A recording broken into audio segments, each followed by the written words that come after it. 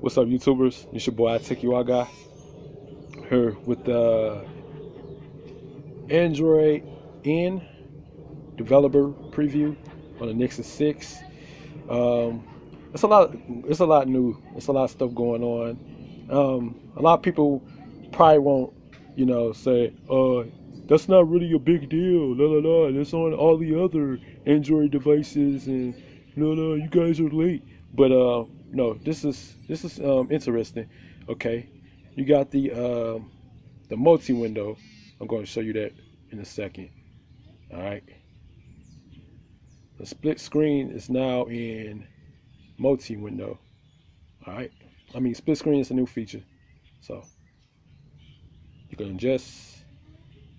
You can turn it sideways. You can make it larger, make it bigger, wide it. Then you can just uh, close it up. Then if you don't like that, just hit the home button.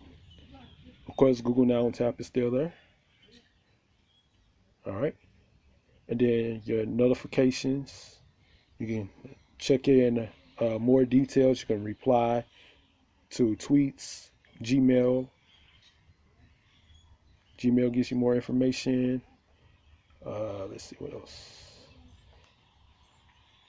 actually the Google Apps notifications look different.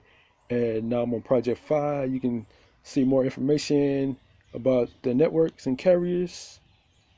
Um, you can see the different toggles and quick settings.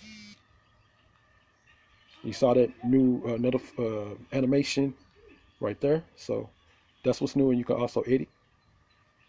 And you can uh, add in more and then you can take away. Okay.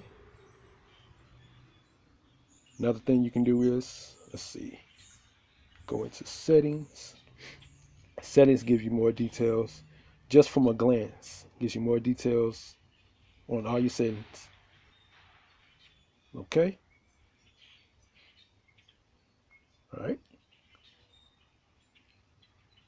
I must say this is like the best Android system. And of course, you still got your Google Now, Google Now cards. Still an app drawer.